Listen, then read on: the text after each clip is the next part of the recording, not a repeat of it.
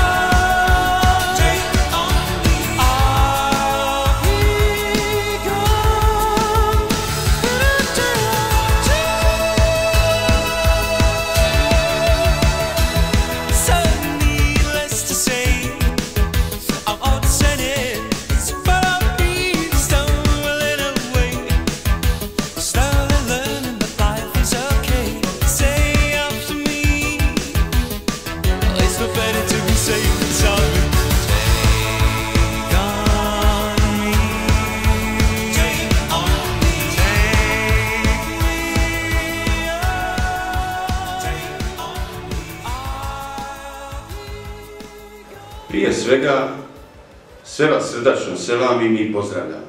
Danas e, imamo razloga biti ponosni što smo stanovnici Bosne i Hercegovine. Moramo gajiti i svakog 25. novembra se posjećati na historiju kada su zajedništvo, antifašizam i jednakost potvrđeni u 40. godinama prošlog stoljeća. Značaj ovog datuma posebno je potvrđen u borbi protiv agresije između 1992. i 1995. godine. Svojim otporom i hrabrošću patrioti naše zemlje ostali su na nivou ove slavne tradicije i uspjeli u proteklom periodu sačuvati suverenitet i teritorijalnu cjelovitost BiH. Svim učenicima, roditeljima i uposlenicima Čestitam Dan državnosti sa željom da svoju domovinu Bosnu i Hercegovinu nose u srcima, da je brane radom, znanjem i časnim postupanjem.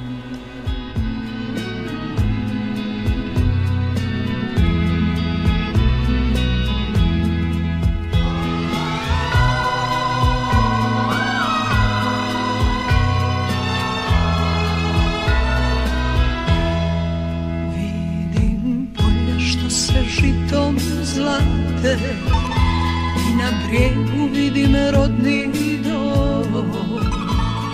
Svakog trena mislim na te. Zemlja moja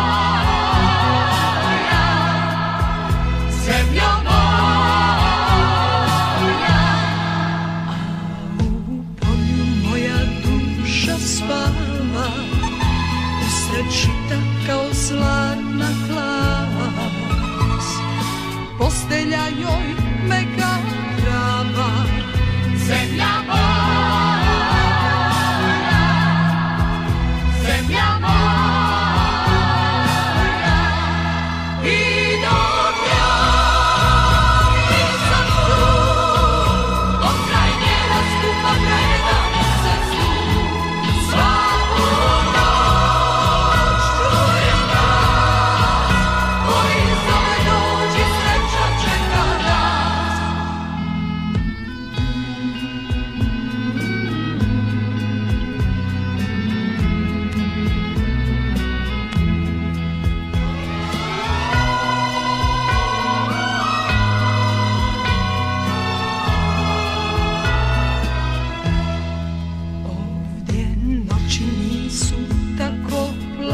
plave Ovdje sunce nema takav sjaj.